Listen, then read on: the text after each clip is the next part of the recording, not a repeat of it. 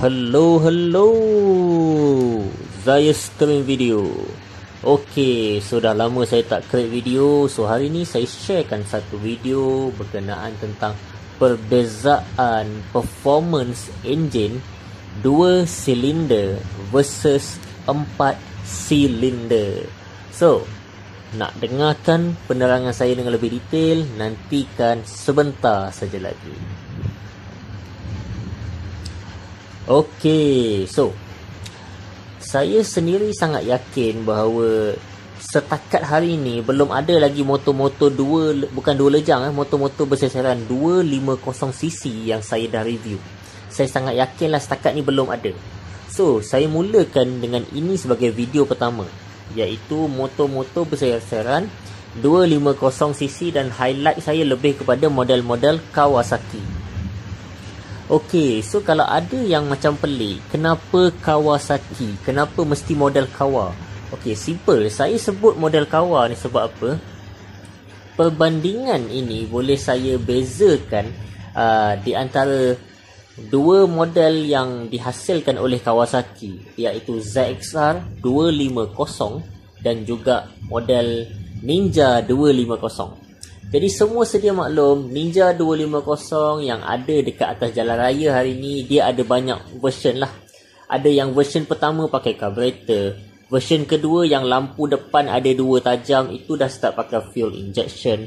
Lepas tu version ketiga pula untuk model yang Indonesia dia ada seseran 300cc. Okey. Dan engine yang ada dekat dalam motor itu adalah motor engine dua silinder. Okey, so dia ada dua silinder. Ha, okey. Dia maknanya dia twin lah. Twin silinder. Berkembar. Okey, berbeza dengan model Kawasaki yang dulu. So kalau Kawasaki yang dulu kita tengok modelnya adalah ZXR 250. Ah ha, dia bukan Ninja eh tapi dia ZXR 250. Bermakna ianya adalah uh, adik bongsu kepada model-model ZX. ZX yang sangat famous pada ketika dikeluarkan dihasilkan motor 250 ZSR ini adalah ZX7R, ZX9R dan juga ZX11R ha, ataupun ZZR 1100 ha, dan kemudian dihasilkan ZX 1200 dan yang paling latest adalah ZX14R iaitu 1400. Okey, motor-motor yang saya sebutkan tadi majoritinya adalah menggunakan teknologi 4 silinder.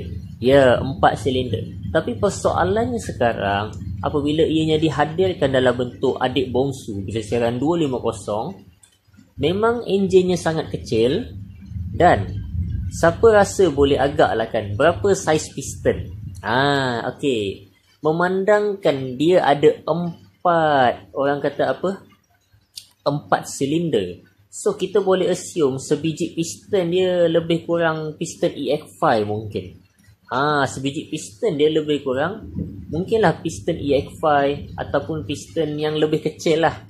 So kita tak perlu nak, nak terlalu go detail sebab topiknya kali ni adalah nak bercakap tentang performance So ada yang bertanya, bang, sama ada ZXR 250 dengan Ninja yang terbaru 250 mana lagi pergi?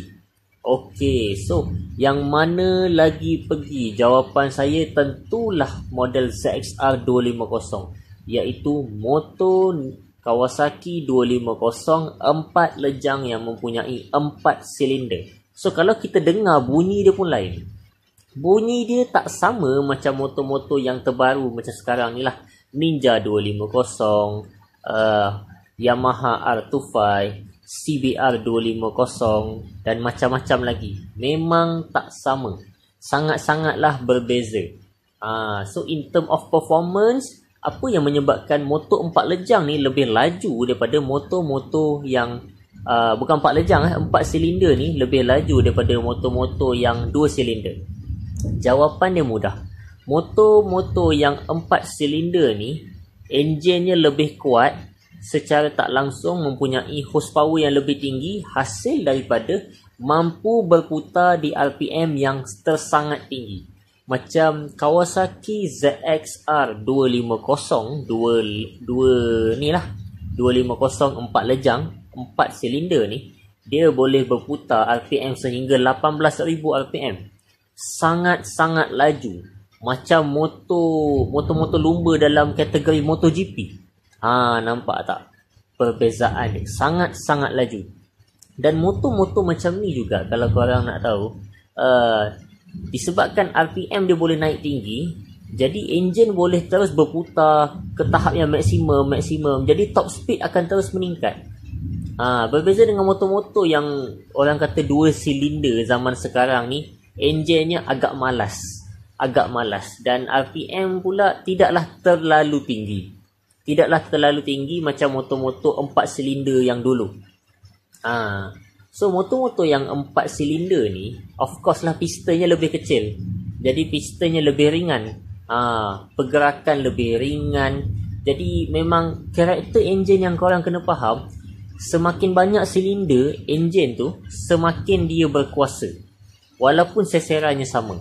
Dan kita boleh buktikan Dengan uh, Kuasa kuda yang dihasilkan oleh ZXR 250 4 silinder adalah 40 lebih kurang 48 tak silap saya.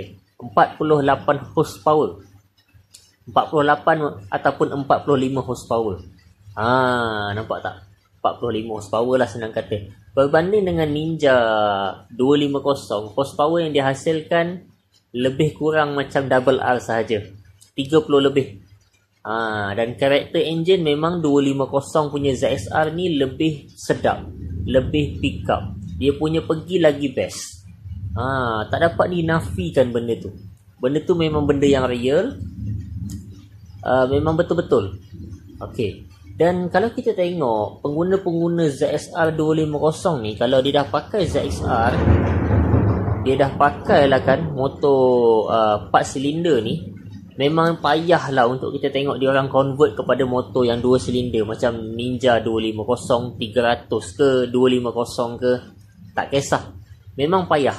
Sebab apa dia orang dah dapat rasakan performance. Tapi kecuali lah kalau dia orang nak convert kepada daripada radical punya style riding style sport bike kepada motor yang lebih pada touring ha, motor-motor yang lebih pada touring ni so uh, kita boleh tengok Z250 model-model Kawasaki lah. Ha, ini antara model-model yang sangat sesuai lah untuk kegunaan tu.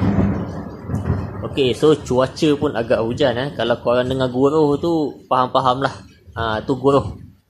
Okay, so uh, basically nya saya nak korang faham yang sebenarnya semakin banyak silinder, semakin besar horsepower yang dah boleh dihasilkan. Dan juga rentapan kuasa, rentapan enjin pada pada inilah enjin membawa ke tayar lebih kuat untuk model-model yang 4 silinder berbanding dengan 2 silinder. Tapi benda tu tak menjadi masalah sebab apa? Uh, kalau kita melihat uh, trend-trend modifikasi yang ada dekat Malaysia ni sebenarnya adalah sangat-sangat mirip dengan uh, dunia-dunia perlumbaan motor di US. Dunia-dunia perlumbaan motor kategori Pro Stock. Enjin bersesaran 1700 membawa ke 2600 Okey, so jangan risau saya akan create juga story yang macam ni. Sebab benda ni dia agak universal dan global tapi saya yakin korang nak tahu. Sebab sedar atau tak sedar apa yang korang usahakan sekarang adalah benda yang dah pun dilakukan oleh orang-orang US lebih kurang 10 tahun bawa 20 tahun yang dulu so jangan risau saya akan createkan jugalah satu video khas berkenaan tentang dunia perlumbaan pro stock. So saya akan kembangkan lagi skop penceritaan saya kepada dunia drag 400 meter. Bukan sekadar drag 201 meter tapi hingga ke drag 400 meter. Motor-motor yang pakai NOS. Motor-motor yang attach dengan supercharge. Motor-motor yang attach dengan blower, dengan turbo dan macam-macam lagi. Saya akan kembangkan skop penceritaan saya. Okay. So, uh, so jangan risaulah saya menjanjikan topik yang saya akan ceritakan lepas ni lebih menarik walaupun topik tu ada campuran topik-topik yang daripada global tapi saya nak korang faham apa yang saya nak ceritakan ni adalah sangat bersangkut paut dengan apa yang korang buat pada motor korang sekarang ha sebab apa untuk kategori motor-motor dekat dalam Malaysia ni nak diturbokan tu bukanlah satu benda yang terlalu susah sebab apa basically kita ada tuner-tuner kereta dan teknologi yang boleh diaplikasikan pada motor tu adalah benda yang sama ada pada dalam kereta Okay, so jangan risau video khas saya akan buat untuk anda semua. So, nantikan video-video daripada saya yang akan datang. Okay, thanks for watching. Zayas Trend Video. Bye.